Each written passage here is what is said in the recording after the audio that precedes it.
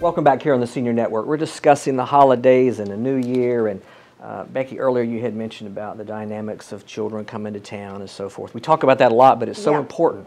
Oh, I, well, absolutely. Um, everyone um, who's considering the Cypress always needs some support from their family. Sure. And and, um, and it's uh, there's no better time than at Christmas or even Thanksgiving when families come together and you know children haven't seen their mom and dad in several months. Or sometimes they live in Singapore and they haven't been there for a year, and they're like, "Wow, mom and dad have really what we call aged in place." Sure. and are starting to see subtle changes in their behavior or needs.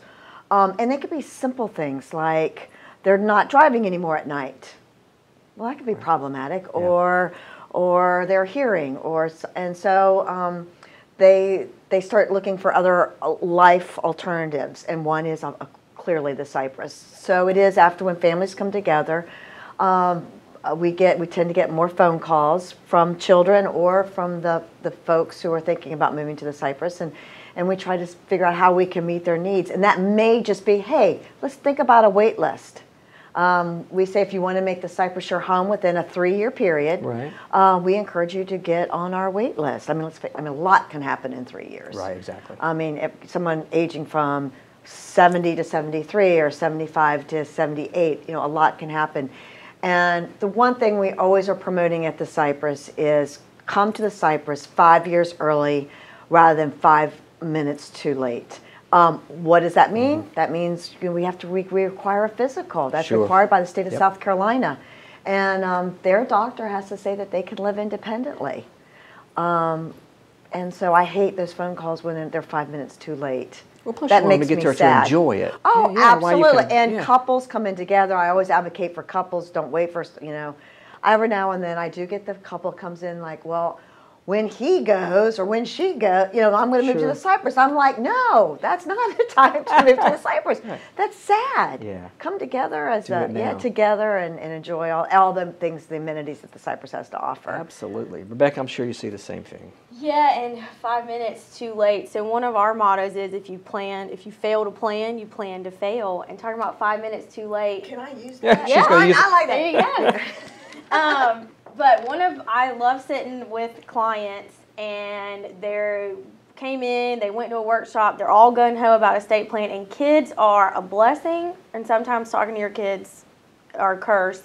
Um, we see them both ways. Most of the times, especially around the holidays, or the clients that come in after the new year, they talk to their kids about estate planning. They're ready to go. The kids have good ideas sometimes and the ones that frustrate me the most is husband and wife are sitting there and they always say well when the spouse passes then i'll get a trust then i'll do asset protection and we have to tell them and people get very offended but i deal as an attorney you always have to deal with all the consequences and all the what It's all ifs going to fall back on you. and I always Yeah. ask him, I said, well, what if when you pass, your surviving spouse has Alzheimer's and can no longer make decisions for themselves?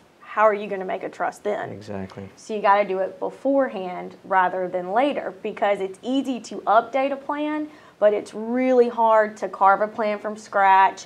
Um, and kids, you can't come in and just, oh, I'm going to fix mom and dad's estate plan and change beneficiaries and make everything that better way.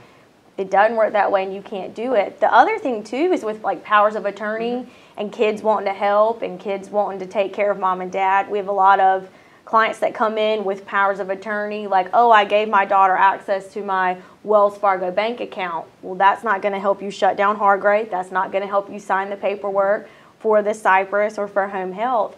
And, you know, January 1st, 2019, the South Carolina overhauled the guardianship and conservatorship code. It's a lot harder to get guardianship and conservatorship now, which was the purpose of the mm-hmm. code. So you don't have those appropriate powers of attorneys. Your children aren't going to be able to step up and help you. Um, so you've got to have all those in place as well. And when people wait to plan, you leave your kids with a mess. And it costs a lot of money, and you end up in probate, and you end up in guardianship and conservatorship, and it's and it's a mess that could have easily been avoided if you came in five minutes early and had the conversation and kind of got your ducks in a row. Question for you. Okay, uh, you you brought up one has the power of attorney, one has financial um, responsibility.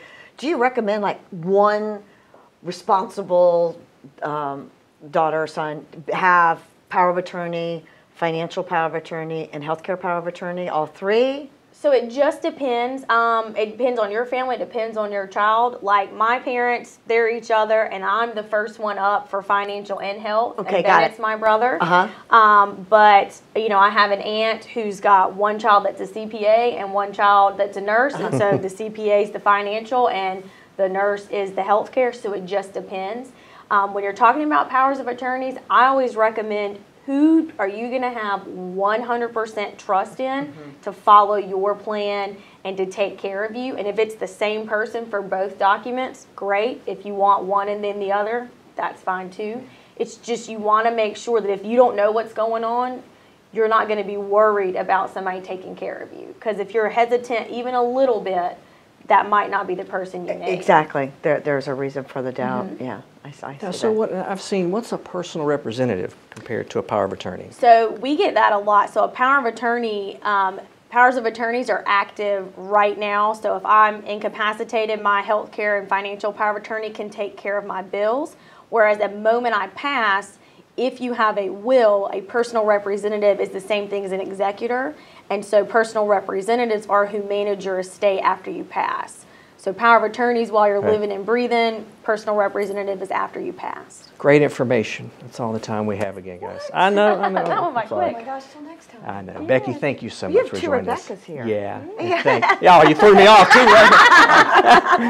Glad to have you, Rebecca. Thank you. You you. really threw me off on that one. Yeah, yeah.